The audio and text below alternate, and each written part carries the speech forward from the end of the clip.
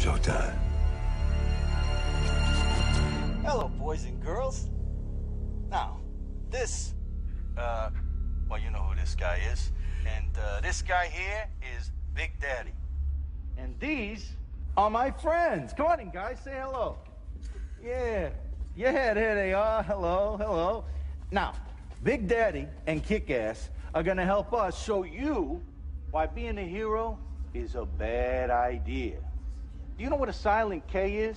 That's when K is at the beginning of the word, but you don't pronounce it, like in the word knuckle duster. Show what a knuckle duster can do, guy. Oh, that must have hurt. Let's see that again. From the other side. Go. Yes. Oh, yeah, I think it did. Now, in France, they say the word stick like this. Baton. We got some of Kick-Ass's batons. We're gonna show you what they can do. Go ahead, boys. Yeah. Give me that. You know, in America, we say stick like this. Baseball bat. Which is very good for hitting knees and. It's also good for hitting balls. We do? We don't do them individually. We do them all together. Gentlemen, please. Yeah. Oh, this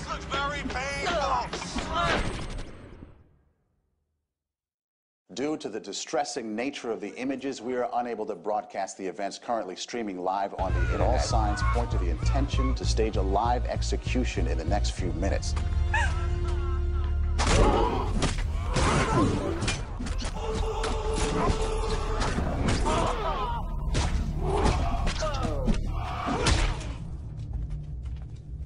Even with my metal plates and my fucked up nerve endings, I gotta tell you, that hurt. Got energy. That kerosene. Yes, the silent killer. But not half as much as the idea of leaving everything behind. Katie, my dad, Todd and Marty, and all the things I'd never do.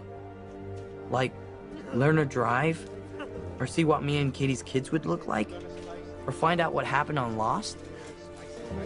And this, for all you cavemen out there, is fire.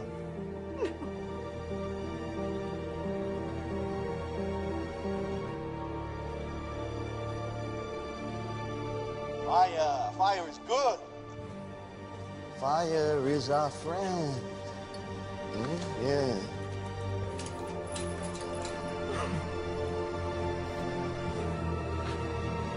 Gentlemen, Time to die.